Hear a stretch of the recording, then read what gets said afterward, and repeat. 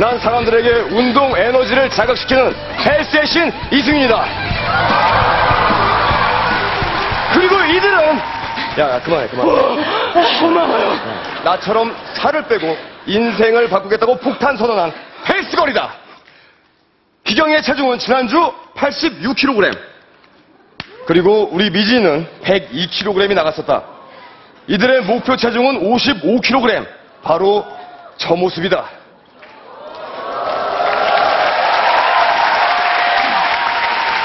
그렇다면 이들이 일주일 동안 살을 빼기 위해서 어떤 노력을 했을까? 저는 자기 전에 라면 먹는 걸 뚝 끊었어요. 저는 자기 전에 라면을 먹었어요. 어? 밥은 안 말아 먹었어요. 예! 좋다. 그럼 지금부터 본격적으로 헬스걸들이 어떤 운동 계획을 세우는지 살펴보도록 하겠다. 언니, 우리 무슨 다이어트 할까? 글쎄 찾아보자. 헉, 미사 이거 봐. 키스 5분이면은 햄버거 하나 칼로리가 소모된대. 그럼 밤새 키스를 하면 과연 이들이 키스를 할 수 있을까? 혹시나 해서 물어보는 건데 여기 오신 분 중에서 이들의 키스 다이어트를 도와줄 사람 있으면 손을 들어주기 바란다. 뭐 방법은 간단하다. 올라와서 키스 5분만 해주면 된다. 아! 좀 진짜 아무도 없는 기야!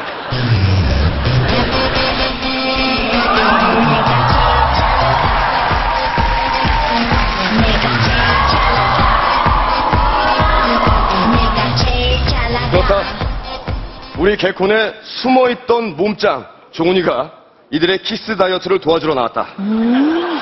내가 해줄게. 꺼져. 그렇다. 종훈이는 못생겼다. 사실 운동은 그리 어렵지 않다.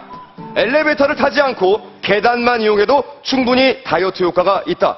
종훈이와 내가 지금부터 시범을 보이도록 하겠다. Let's go!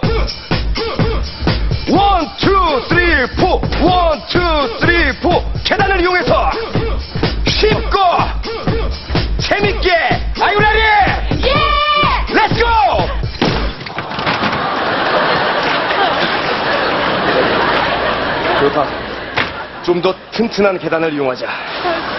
자, 어쨌든 이제 마지막으로 이들이 일주일 동안 체중을 얼마나 감량했는지 여기서 공개하도록 하겠다. 지난주 86kg에서 현재 자.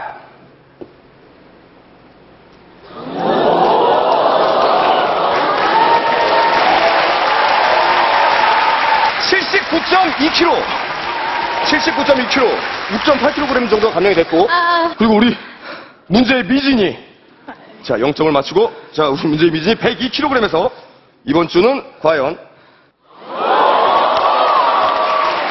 89.6kg!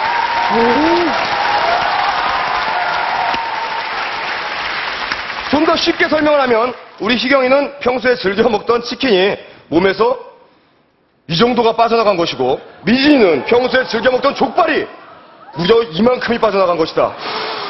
근데 여기서 정말 중요한 건 티가 안 난다는 것이다. 앞으로 여기는 종훈이와 내가 이들을 확실하게 변화시키겠다. 만약에 30kg 이상 감량 못하면 나와 종훈이는 개콘을 그만둘 것이다. 미쳤어? 너나 그만둬.